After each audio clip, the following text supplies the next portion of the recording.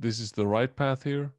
You have your APIs. You you put stuff in your APIs. The lambdas of the APIs are writing into the buffer, and then you take take the stuff out and uh, process it and put it back into a data warehouse.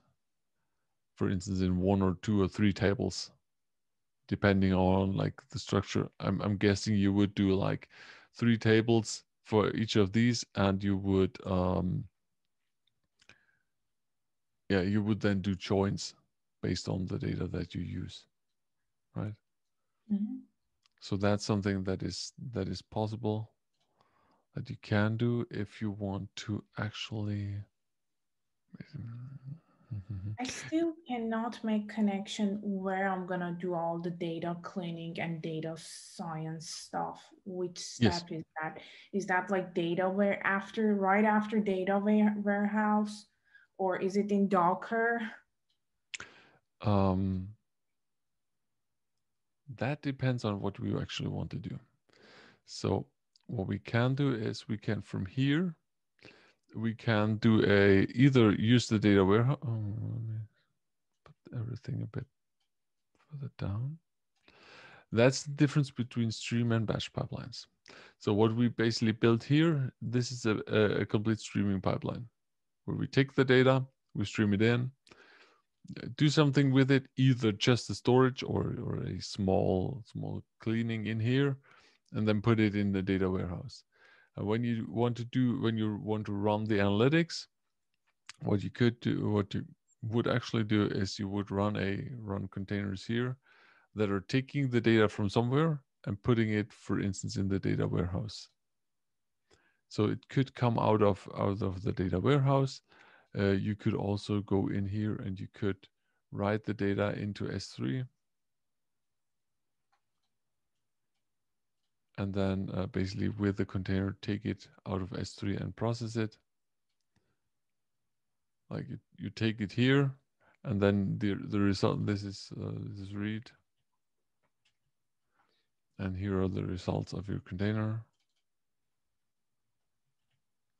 This could be possible, or that you that you build like uh, like, go on, that you do it like this. Um, I do read here.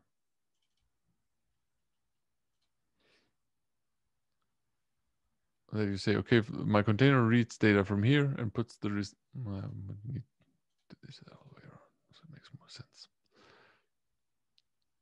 Right. So then, then you can the, you can schedule this with your. Um, let's delete this, or let's put it. Let's leave it here.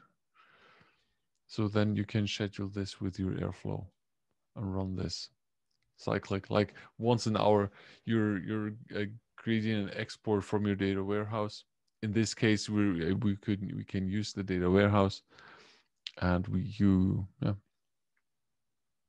you create results and put the results back into the warehouse. So that's the that's the typical analytics use case that you have. You take the data from somewhere make it like in a, in a batch and put it put the results back in. Mm-hmm. and the the storage is just for your like for your convenience. What what do you want to do? What do you want to use? You can do that within uh, that you that you use files put stuff into files and then process the files or not or, or take them put them in the data warehouse. It's just like how do you want to write this container? Do you want to write this container that it that it reads of that it reads files within uh, within a a bucket or that or that it runs uh, queries against the warehouse to to read the data? That's just um, whatever you want to do could be could be nicer to actually read from a from a warehouse. Because otherwise you need to, you need to have file handling. Like which files are already read and that's sometimes that's annoying.